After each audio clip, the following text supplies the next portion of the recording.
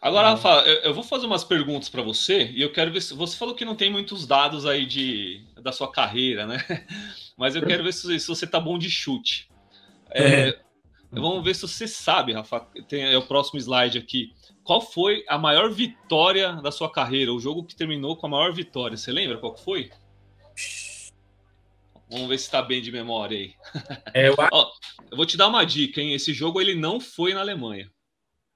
Não foi na Alemanha? Não. Caraca.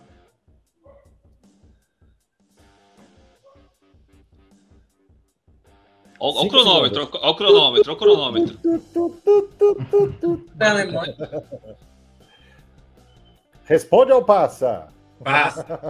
Vai passar, vai pagar então. Ó, o jogo que você. A maior vitória né, da, da sua carreira foi Phoenix, Phoenix Sim 0 Zurich 11. Não, nunca... Copa da Suíça de 2006. Você fez um gol nesse jogo. Que isso? E na não Alemanha. jogo aí, não, Rafael? Não lembro.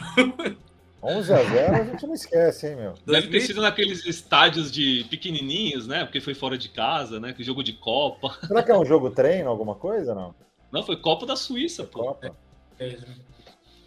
E na Alemanha, foi um jogo de Copa da Alemanha contra o Hasted, 11 a 1 E você fez três gols. Aí você tem que lembrar, né? Fez três gols, pô.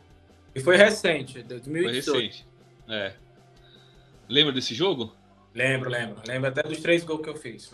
Eu acho que nesse jogo você deu duas assistências também. Também, exatamente. Ah, então. então Acabou com o jogo, então.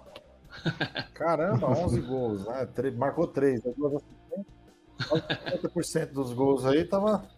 Acabou com o jogo.